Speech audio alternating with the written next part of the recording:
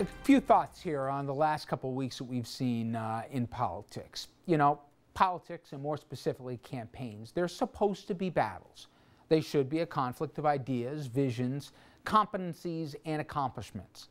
But as we all know, especially in recent years, the campaign season has become the silly season, with the flood of outside money and the focus on all issues other than the substantive ones.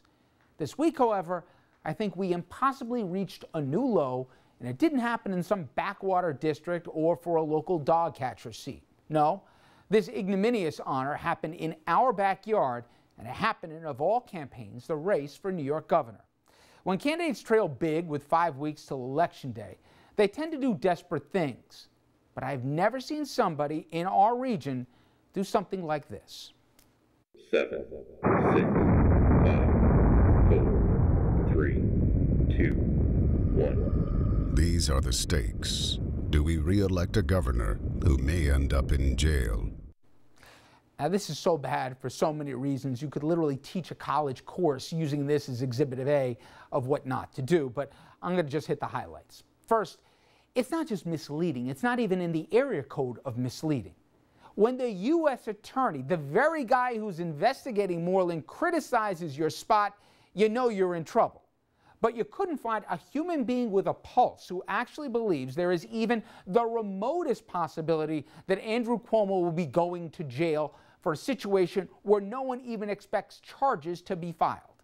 Second, what the heck does a nuclear bomb and imagery from a 1964 ad from LBJ have to do with this year's governor's race?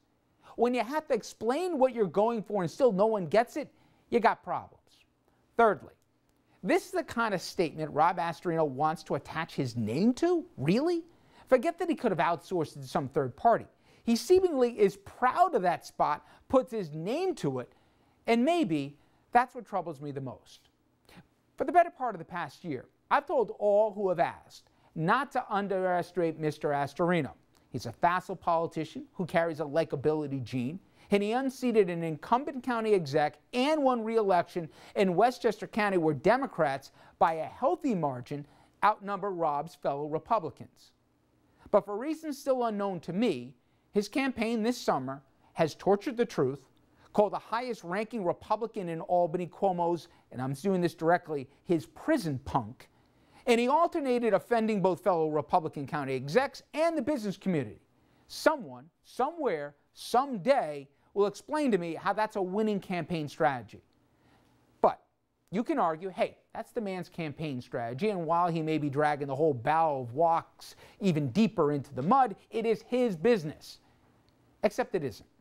This week, Westchester County lost $5 million in HUD grants. Now that's on top of 7 million we lost last year and potentially another 10 million more next year. And it's all because its county executive continues to defy a court order in his Don Quixote fight. It is a senseless pattern that seems to be the crux of the campaign. Insult as many people as possible with no logical endgame, and not only hold your county up to ridicule, but imperil desperately needed funding from Albany and Washington in the process. For the life of me, it's bad policy, it's bad politics, and more simply, it just doesn't make any sense. And here's the worst part Rob knows better, and his county, it deserves better.